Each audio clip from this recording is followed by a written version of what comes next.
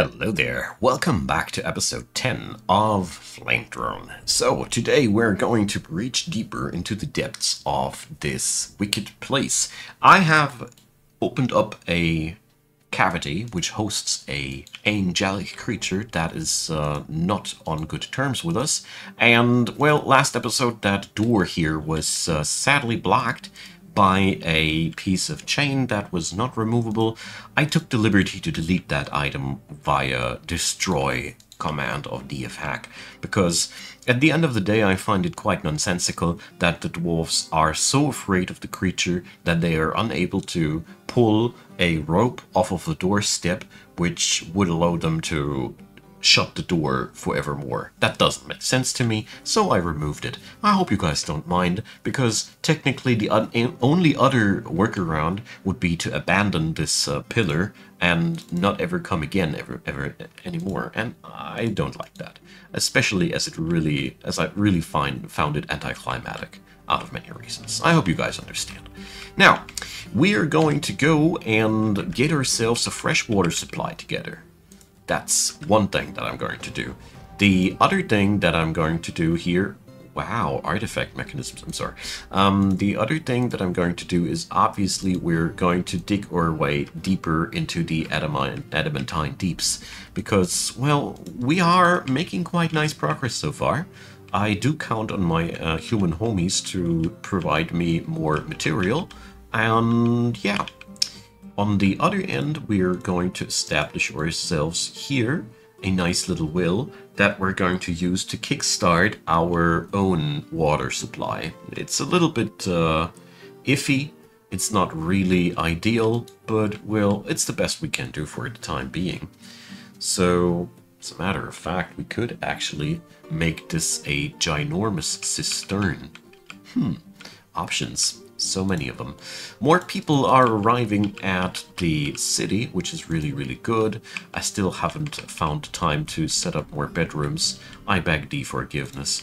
I really, really, uh, well, what can I say? I feel a little bur bit burnt out on the bedroom front, so let's maybe dig out a few of them every episode. and we'll eventually get there. Like I keep saying, the good part is that your dwarfs are as a matter of fact, quite robust and willing to hold out without a bedroom for quite some time before they really grow grumpy because of that.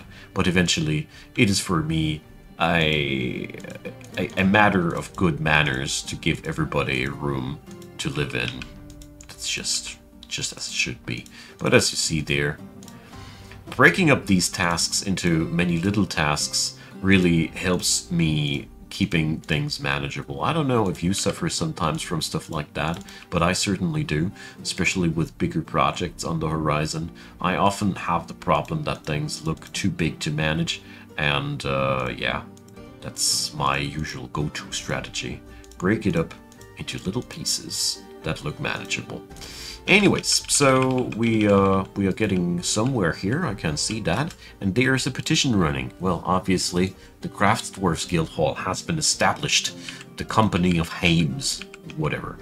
Don't mind that they want to have that. We're going to give them a nice little compound. Well, where actually? So There's all the bars here. we want to go here for them? Yeah, I'll be, uh... I'll be going here, that way. So here's gonna be the guild hall. I know that this is going to limit my magma workshop, but uh, I really, really don't mind. If we need a new magma workshop, we can easily expand on that. So let's do this. As far as I see, I don't have a finished good stockpile yet. Grr. What is this place even? Anyways, so we're going to go and floor this place with some fine orthoclase so that this guild hall is living up to its name. And obviously we're accepting the quest. These Guildhall requests give a nice chunk of uh, happiness among your people, and that's why I do that. There we go.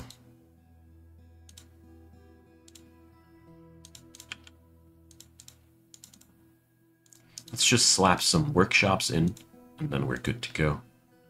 So, panda people are, are somehow swarming into my fort, getting dinged down by my by my soldiers.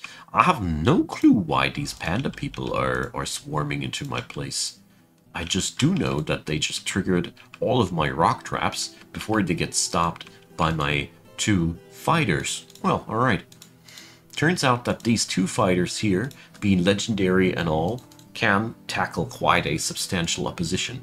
So, that being said, Kullet, a legendary fighter, Tobul, a legendary swords dwarf. Ah, yeah, let's do that. So, Tobul already has weapon, just need a little bit of other gear for you. Let's do this. I mean, there is an obvious advantage in our availability of magma workshops here. So we're uh, we're going to make something like this. I love it when everything is so scarce and everything matters. It's such a interesting environment. So we're uh, obviously allowing shields out of all materials. That's that. Alright. Obviously, we're coming. Uh, things are coming together here quite nicely. I think I am best off is if I am expanding the other areas of my apartment block situation here as well. That's something I really, really think I should do. Oh, whoopsie.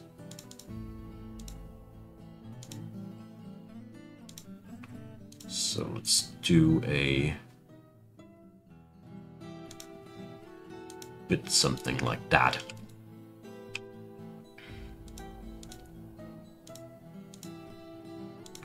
There's now plenty of workshops for demonstrations.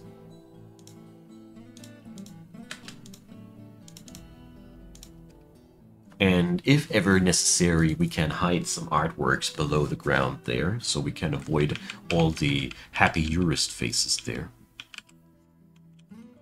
I don't know, I'm not a big fan of uh, carving out uh, the artworks everywhere, so that you have these uh, arty, artsy faces in the entirety of your uh, of your room. Don't like the uh, visuals of that. So yeah, I've uh, come to the conclusion that we are going to expand here a little bit in terms of uh, apartment space. There we go.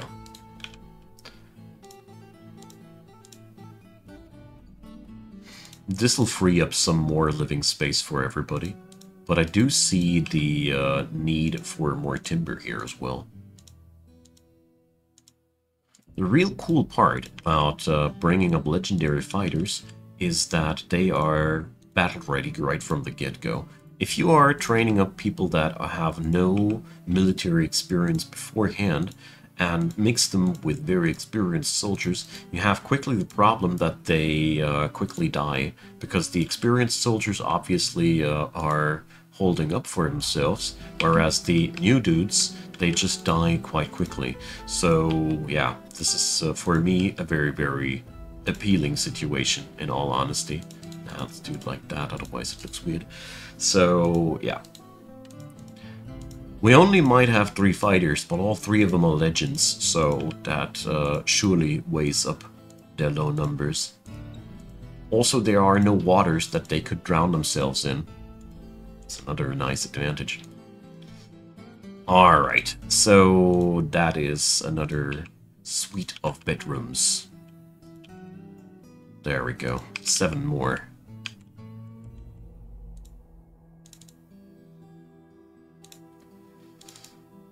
And here I'm kind of like messed up a little bit.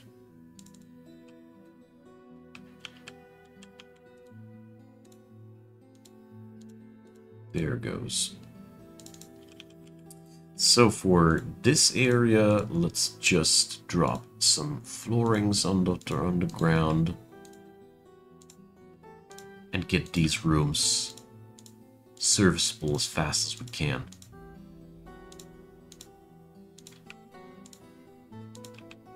There's a couple, couple of very, very grumpy dwarfs in our midst here.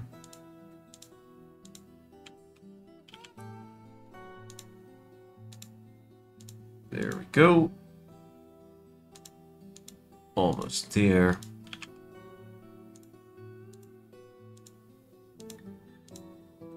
Alright.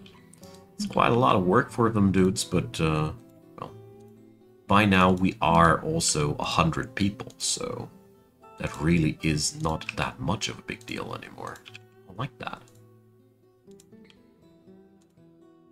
Okay, so I'm quite fond of the uh, possibility that we are getting this done now. Very sorry that I am recording this now after saying the last time that I meant to do this between the episodes, but I just keep forgetting. And uh, yeah, that led me to the point that I just needed to do that, obviously, whenever I have the thought. Get the idea probably. Alright, so since our farms are in such a horrible condition, we're very, very bound to imports and foraging.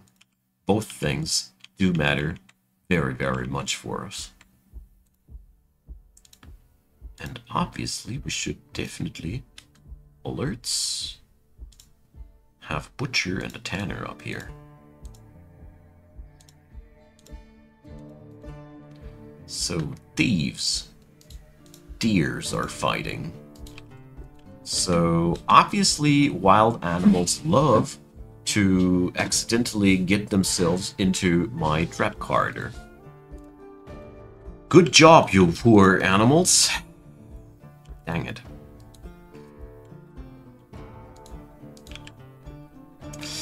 Anyways,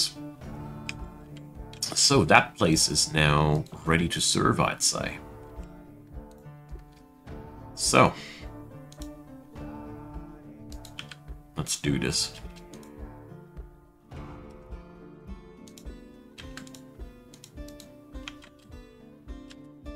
Okay. I still intend to transport the water somewhere else. I think we can't safely delete that job. Because I I don't want this chamber here to be my main water supply. I just don't feel well with that. This is very good for what it is. Oh, that's going to be a very, very narrow cavity here. But, uh, yeah, I think it'll do the trick. Just about fine.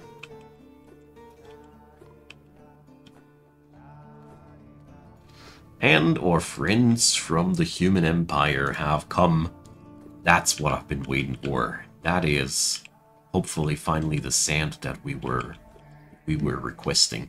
So yeah, it'll take a while until this chamber is flooded, but eventually it will be flooded. There is uh, pretty much not uh, nothing that I see stopping this from happening. So, uh, here's deer being slaughtered. Brilliant. Just what I was uh, doing this for. There we go, safety bridge. And let's move some food over to this place.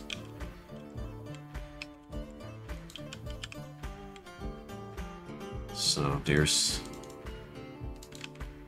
some stuff here. Alright, they allow me to reorder things yet again. So we keep reordering bronze and iron. And obviously, I think I will stick to the sand orders, as this will help me a lot in getting together what I need. And why the hell is there no button for repeat last year's order? I really don't understand.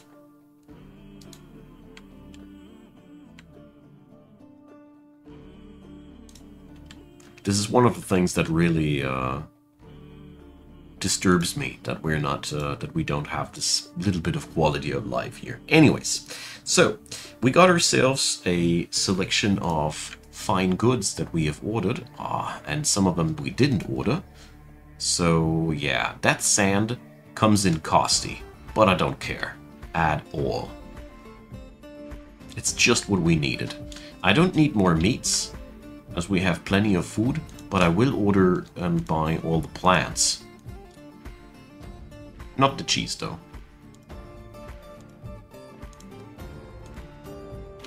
Alright, let's go for the most interesting part, what's in the box. So, prepared wild boar kidney roast, valley herb, fishy berry, giant raven lung, and wild boar kidney. Honestly, we've read worse. So, minced cabbage, yak's milk, rye beer, and pike kidney. Alright, that might be even tasty.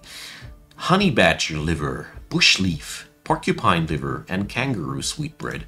I gotta say, we've had much worse uh, concoctions here. Cave lobster, hmm, giant monitor lizard spleen, cave fish, cave lobster, and cave lobster. Wow, it's a very lobstery meal. And even more lobster, cave fish, and cave fish and quarry leaf. Nice.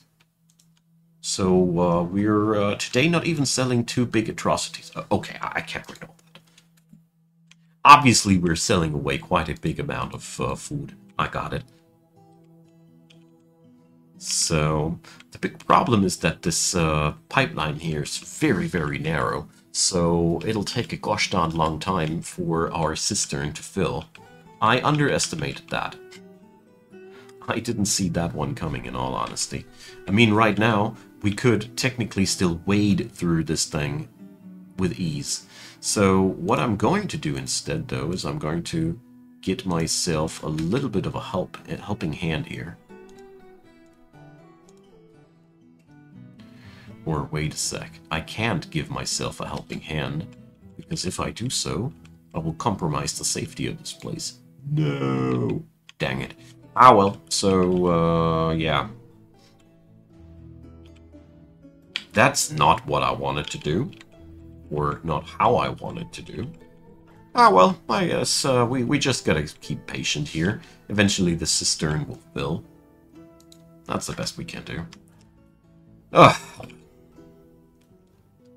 But as you can see here, our, uh, our bucket brigade has done quite a tremendous job. They have successfully quenched all the fires here and even overdid themselves. Good job. So we can now safely drill a hole downstairs. And obviously put floorboards on top of these. Also, with all the sand that I got, I can finally order myself as many uh, glass blocks as I can.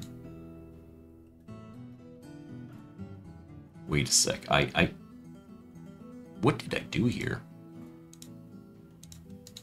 We do have more base here still, alright. So we're just going to put in the glass workshops here. I was just uh, very surprised that I didn't bring up any glass furnaces yet.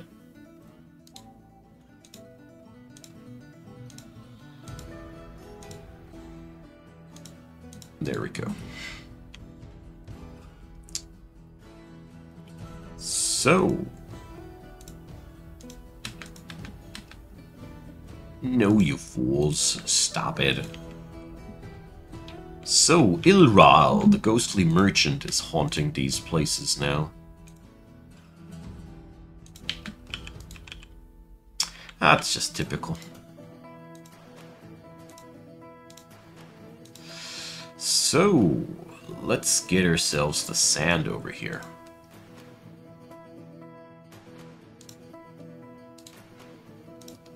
Sandbags and we link it to our big stockpile here. That should lead to the sand being piped there. Okay, so it's going to be very, very simple. We just want some blocks. There. And we'll repeat that as often and uh, much as we uh, as we possibly can. And that stuff will be just what we require. One petition outstanding.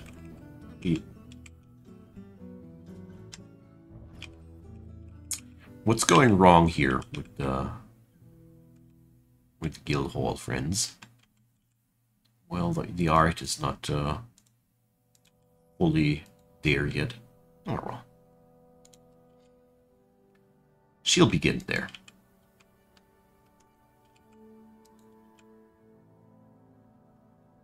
Okay. So, let's open up that. As this is all proven to be safe cavities now.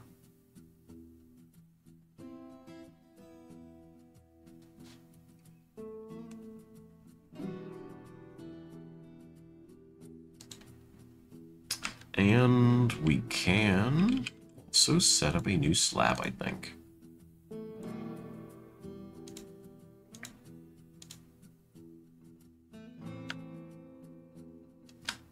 Wait a sec. Wasn't done.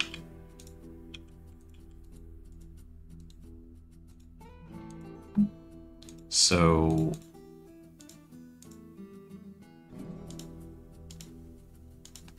I think I just engraved the wrong thing. Here, Ilral. That's the one, no?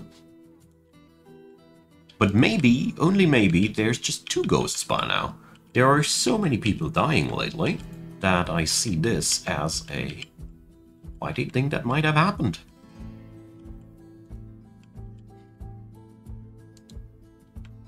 So, traders are packing up their things and going. Nah, I just engraved the wrong uh, slab. Whoopsie daisy. Yeah, now they uh, don't have it uh, designated. Uh, they, now they're carrying it around. Yeah, yeah, the usuals. So what I really, really um, see with quite some uh, fear is the constant low of drink in this uh, fortress. I mean, I don't have enough stills. That is one thing that we need to change. One still is never enough.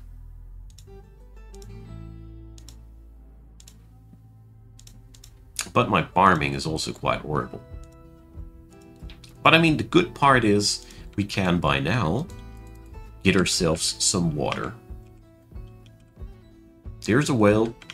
We can now irrigate whatever we want to. Oh shoot, I didn't expect it to go like that. So, in a nutshell, we now need to wait until the water pressure, the measly peasily water pressure over here, has managed to, uh, well, get the job done here. Pretty much not. So let's see, can we can we do some geoengineering to help out the task, hey? Let's see. Because, I mean, this is, uh, frankly said, horrible. So... Let's see if we can't do something about this misery. Very simple procedure. We're just going to widen the corridor. And, uh, oh, there's another deer ending in my, uh, in my trap corridor. We're just going to widen the corridor the water can flow through. And we're also going to make it on a, uh, safe, in, in a safe way. So there will be no way for undergrounders to crawl into my fort. Ah! The finickiness of that slab placement is annoying me. There we go.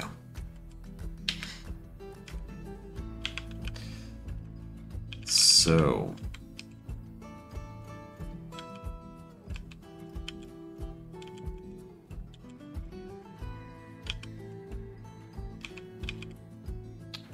We need to operate at many fronts here.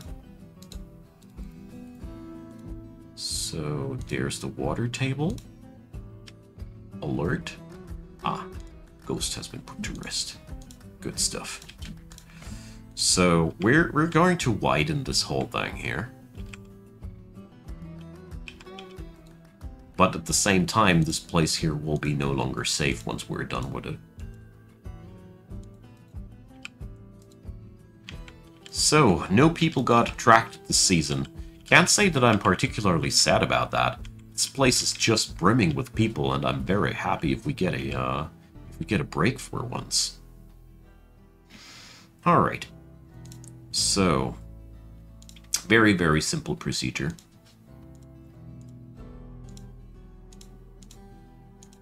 And quite uh, dangerous for the rest of the Ford, in all honesty but very, very effective at what uh, we're uh, we're doing here.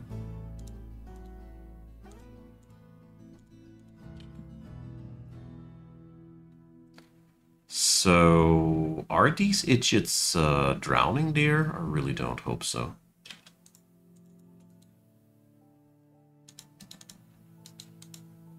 So,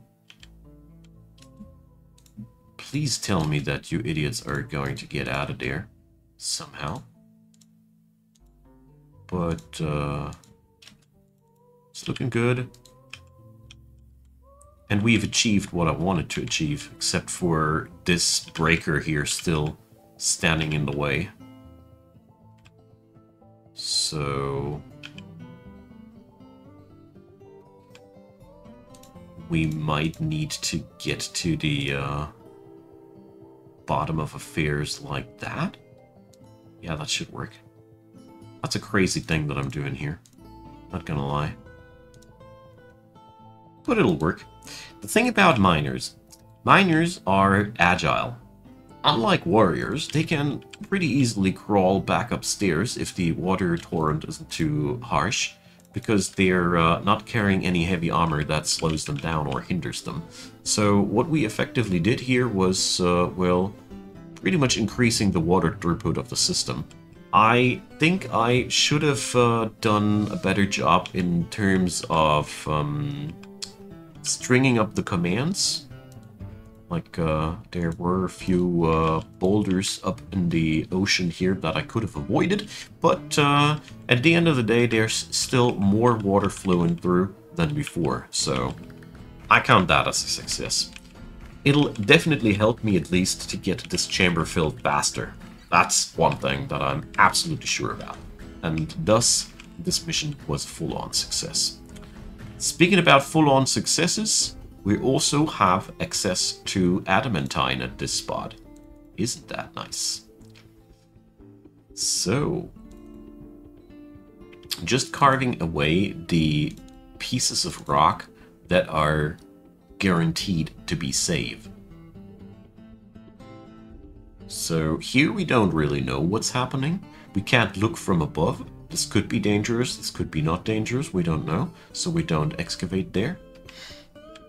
We will excavate here though and uh, clear out that little uh, pocket of magma there. So the hoary, hor hoary marmot is also dying here. So yeah, Stuff keeps dying at my doorstep. But at least we can eat the stuff that keeps dying at my doorstep. So things aren't that bad. We also now have a debatable source of fresh water, which I will fill up via, via bucketeering.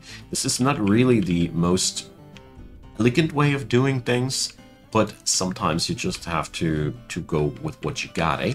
So I see a way to success so I'm going to follow it. Let's open up this cavity here in uh, right there. And then it's sadly pretty much time to say goodbye yet again for today. So we had a pretty good run, that's uh, for sure.